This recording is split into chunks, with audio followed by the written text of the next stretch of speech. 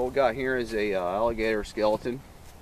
I'm going to guess about, uh, I'll say about eight foot. Uh, that would be including the head, which is not here, and their the feet are missing. All of those are trophies.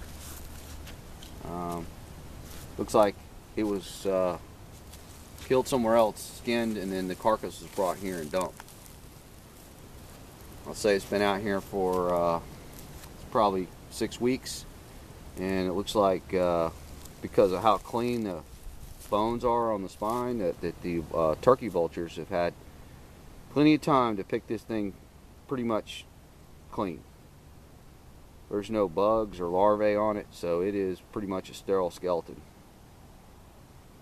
Very, very interesting. Make a great display if we could uh, clean those bones and put it all back together, but being that I don't have an alligator tag and uh, possession of this skeleton would be illegal, so we're going to leave it where we found it. But uh, that's what an alligator skeleton looks like.